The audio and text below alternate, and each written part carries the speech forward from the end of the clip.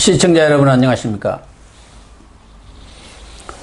고영신의 시사정담 시간입니다. 시청자 여러분, 대선 주자 지지율 1위를 달리던 이낙연 민주당 대표가 낙마 위기에 몰렸다는 관측이 흘러나오고 있습니다. 이 문제 윤영걸 전 매경닷컴 대표님과 전망해 보도록 하겠습니다. 안녕하세요. 네, 안녕하세요. 윤 대표님. 예. 얼마 전에 윈지 코리아라는 예. 여론조사 기관이 예. 지금 대선이 1년 6개월이나 남아서 예. 너무 빠른 것 아니냐 하는데 양자 대결 지지율 조사를 했어요. 그렇죠. 그래서 어, 윤석열 총장과 이낙연 네. 또 윤석열 총장과 이재명 경기지사 예. 이렇게 했는데 이낙연이는 윤석열 검찰총장한테 져버렸죠. 아, 그렇죠. 그러니까 이런 결과가 지금 이낙연으로서는 상당히 치명적으로 좀 받아들여야 하지 않겠나 그런 네. 그렇죠. 생각이 굉장히 치명적이라고 봐야죠. 네. 그동안에 대권 주자 1위였다가 음. 이재명한테 슬슬 밀리는 것 같더니 이제는 완전히 윤석열한테도 밀리는 꼴이 나왔잖아요. 음. 이재명한테도 밀리고 네. 굉장히 뭐 심각한 사안이 아닌가 이런 생각이 들어요. 그래서 이름을 잘 지어야 된다고 봐요. 음. 이 낙연 하면은 낙엽 같잖아요. 이 낙엽. 이낙연 지금 또 축풍 낙엽 때가 어제부터 비가 왔잖아요. 예. 비가 와서 빗자루질하면 낙엽이 잘 안 쓸립니다.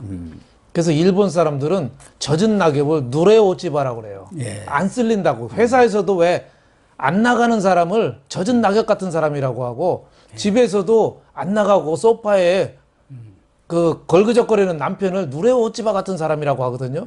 네. 젖은 낙엽 같다 이거죠. 이 낙연이라는 사람이 이 낙엽이 된 거 아닌가.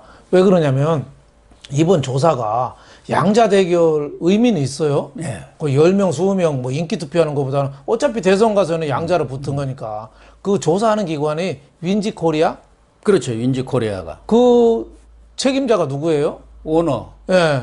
누구예요? 예. 이근형 씨라고 그렇죠. 지난번 4.15 총선 때 민주당 그 많은 역할을 했던 사람이에요. 전략기획위원장 맡았어요. 그렇죠. 아주 많이- 핵심적인 그렇죠. 위치에 있었죠. 그 사람 또 누구랑 가까워요? 양정철. 네. 그쪽하고 다 이게 한통속들이에요. 그러니까 굳이 양자 대결 모습을 가져서 이낙연 밀리는 걸 보여줬다 이거죠. 그러니까 거기에 숨은 뜻이 있는 거죠. 그렇죠. 그러니까 이낙연은 그 자기 그 문심이 아니야.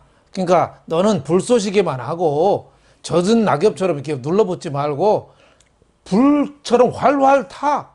뭐 이런 뜻이 아닌가. 그러니까 이렇게 양자 대결 모습을 갖춰서 이낙연을 저렇게 초라하게 만든 거 아닌가. 그때 조사에 의하면은 윤석열하고 이재명 양자 대결은 이재명이 조금 앞선 거로 나와요. 그러니까 본선 경쟁력이 경쟁력이 강하다는 얘기 아니에요? 그렇죠. 예. 근데 윤석열하고 이낙연 하면은 윤석열은 42.5, 이낙연은 42.3.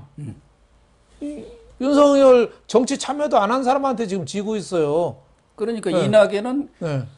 경선 네. 그러니까 당내 경선 경쟁력은 이재명보다 좀 앞서죠. 하도 문재인한테 이렇게 하니까 문바들이 그렇죠. 그래도뭐 이낙연이구나 네. 이재명을 했다가는 완전히 저 네. 자기들 팽시킬 것이다 이렇게 하니까 당내 경선에서는 이낙연이가 조금 우세한 조금 낫죠. 아, 중요한 것은 본선 아닙니까? 본선에서 그렇죠. 떨어지면 뭐 그만이죠. 그렇죠. 당내 경 당내 민주당 지지층은 뭐 이낙연이가 좀 앞서고 음. 이낙연 이재명하고 하면 무당층들은 이재명을 더 선호하거든요. 예, 근데 그러네요. 근데 지금 이 무당층이나 이쪽이 굉장히 중요한 변수지 민주당 지지자들한테 표를 받는 거 저는 그거는 대선 경쟁력이 없다고 봐요. 사실은 무당층이라는 게 중도층이라고 봐요. 굉장히 많잖아요. 예. 예.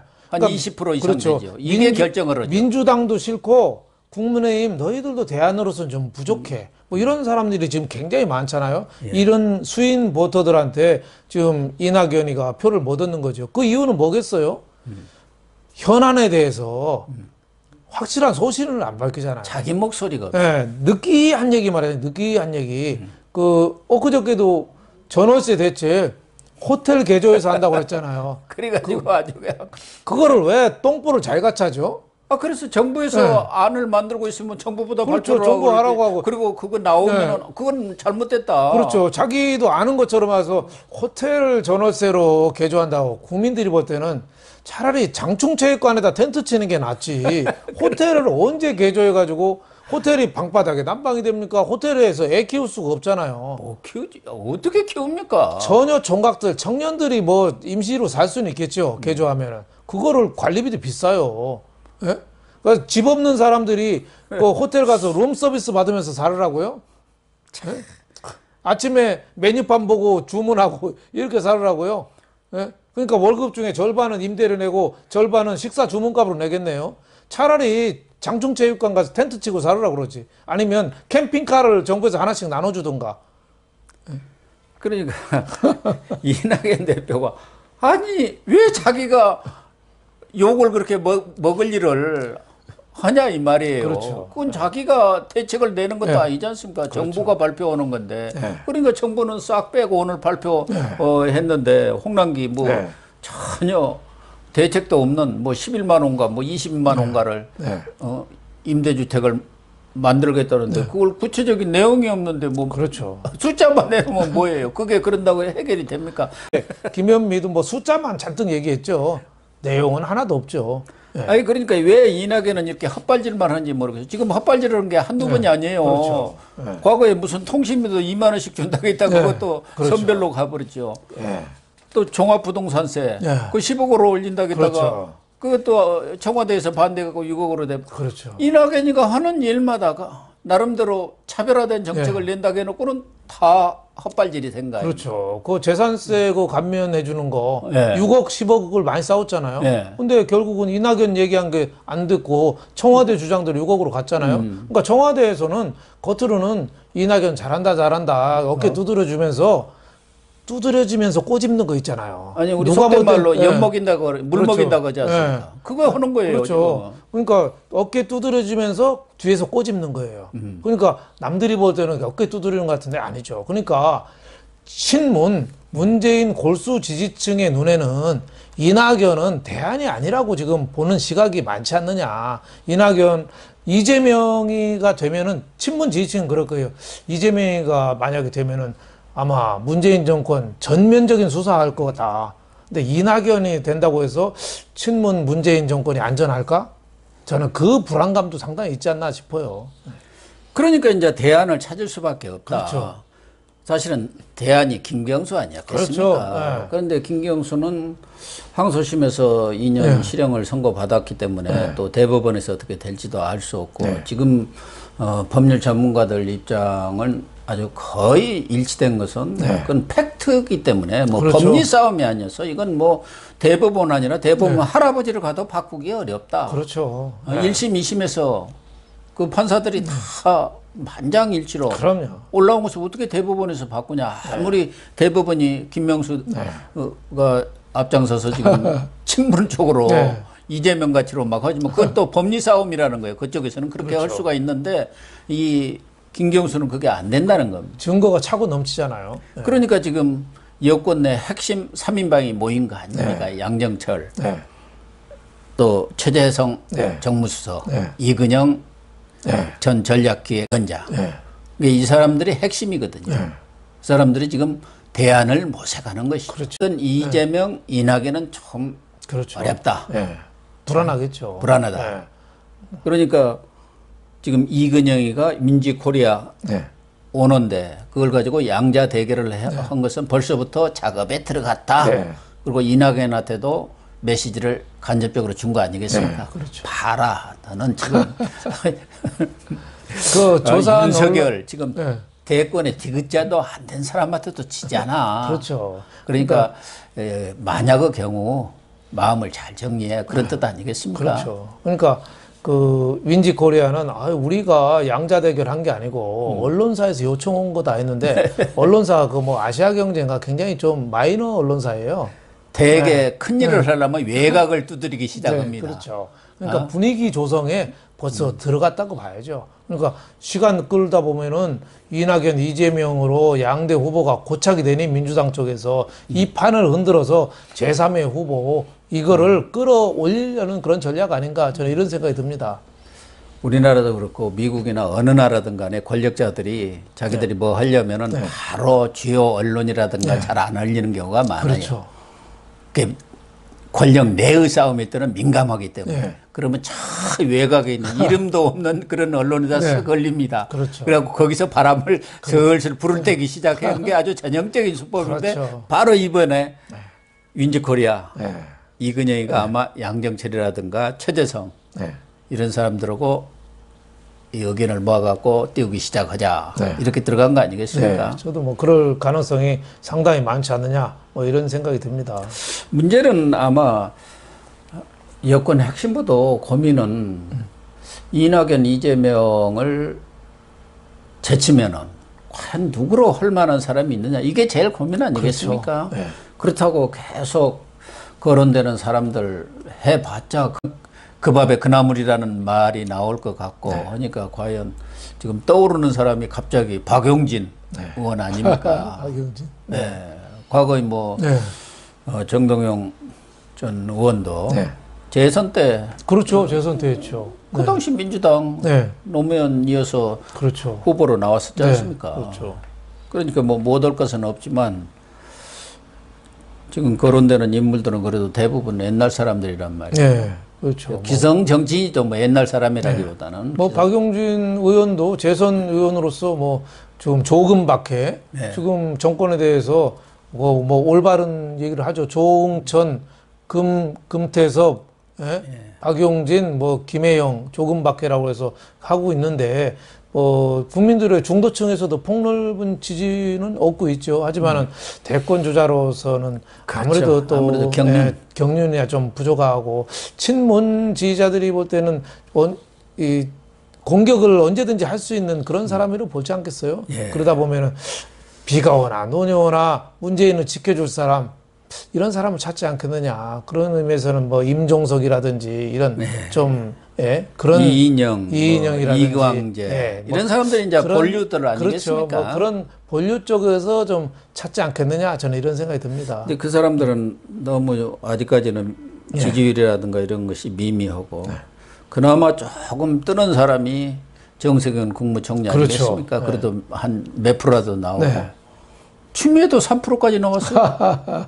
아 추미애도 저- 문바들 네. 아주 대깨문들은 추미애 잘한다 그런 거니까 한 2, 3%는 나오죠. 그러니까 그래서 대권 노리고 있다는 미칠 거예요. 광자가 통하는 거죠. 예. 추미애가 미칠 광 광인이니까 그것도 광팬들이 있는 거죠. 그 음. 광팬들한테 용기를 얻어서 추미애가 저렇게 막 나대는 거 아니겠어요? 그러니까 추미애도 뭔가 노린다고 봐야죠. 서울시장 건너뛰고 네.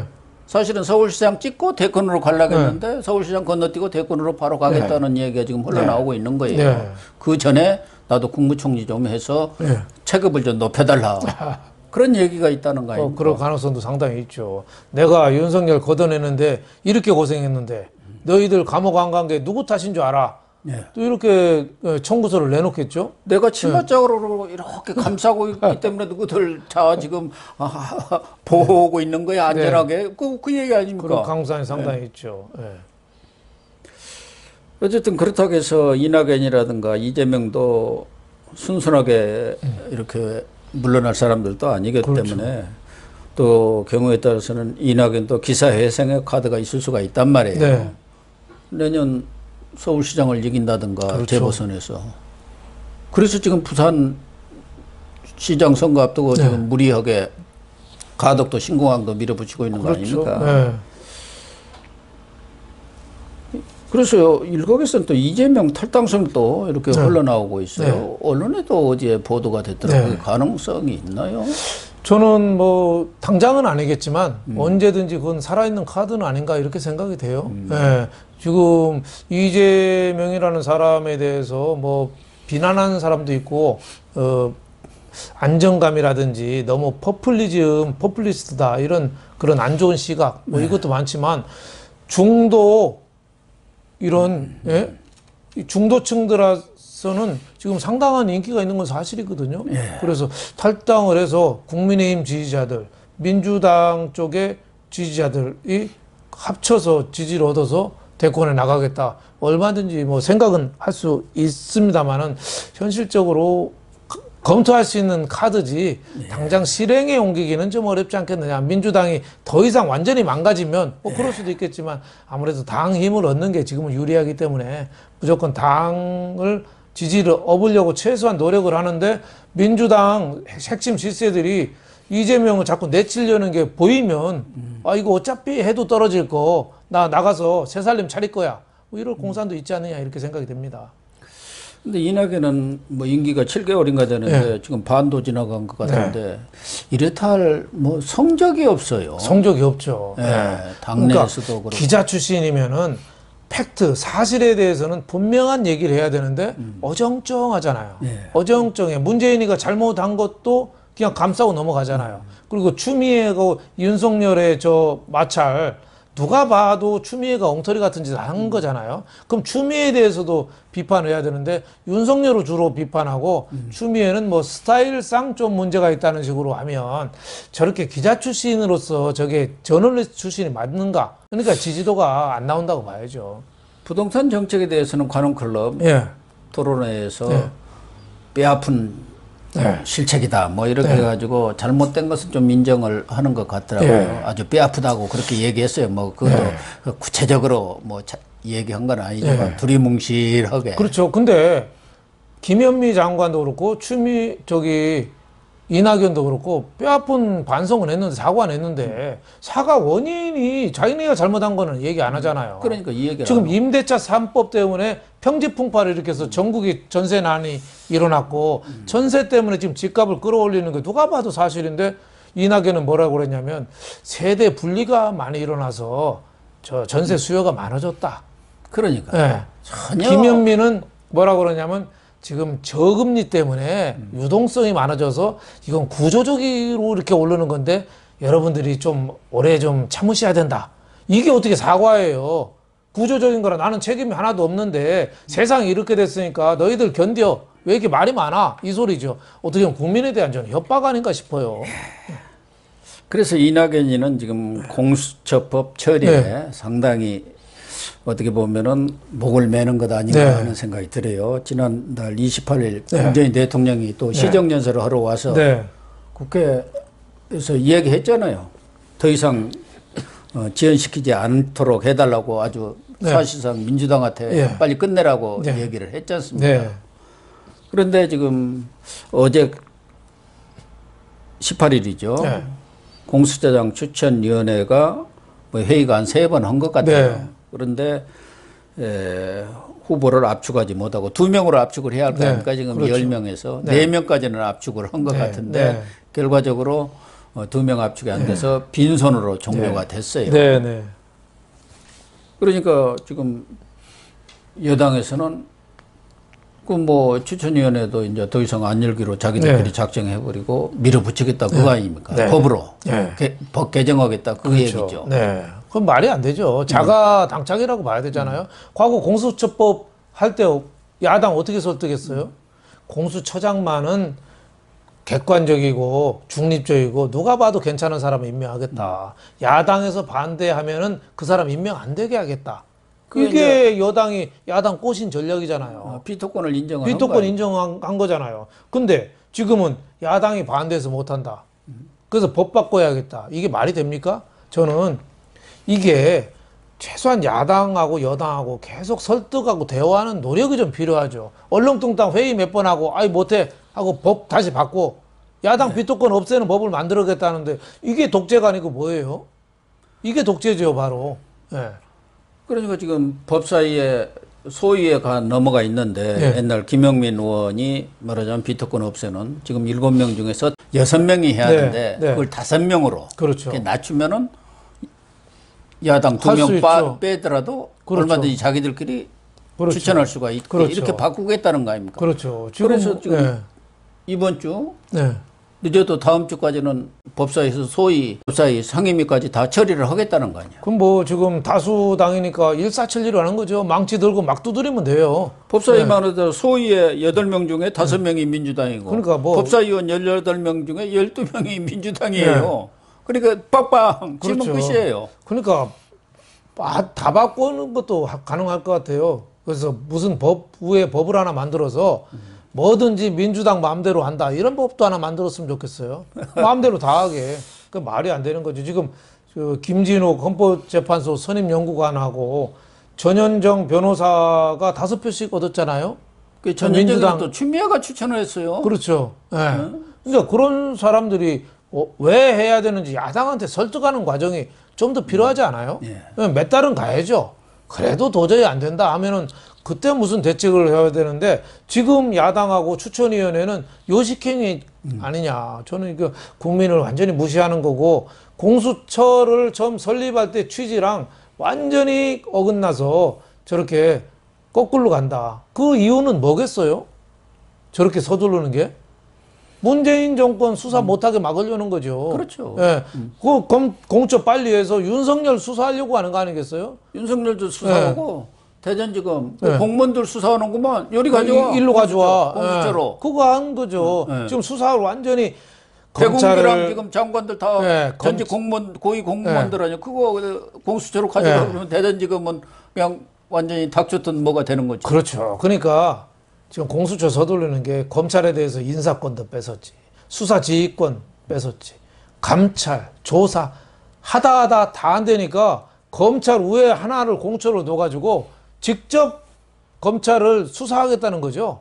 예. 그러니까 이게 누가 봐도 이 의도가 진짜 민주주의와 거꾸로 가는 거다 이렇게 생각이 됩니다.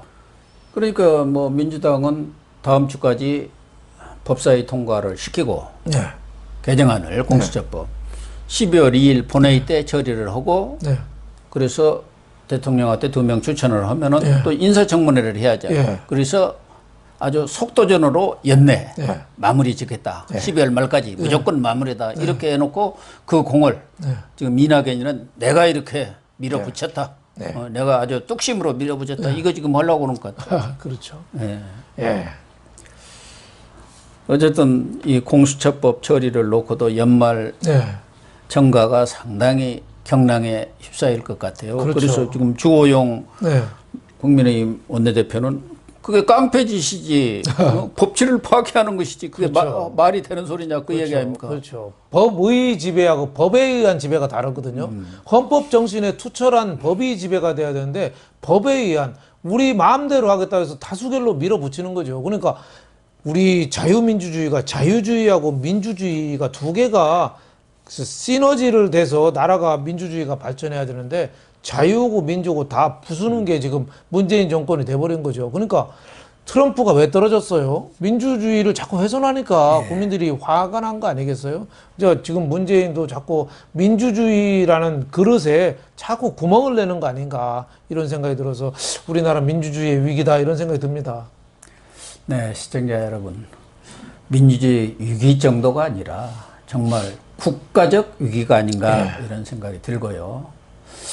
뭐 그동안 민주당 내에는 대권 주자들이 무구르구르하다 이렇게 알려졌는데 사실은 지금 1, 2위 주자 다 여권 핵심부에서는 못마땅한 인물인 것 같고 대안을 찾자니 다 고만고만하고 그래서 사실은 국민의힘마 대권 주자가 없는 게 아니라 어떻게 보면은 민주당 여권도 이렇다 할 대권 주자는 없는 것 같습니다.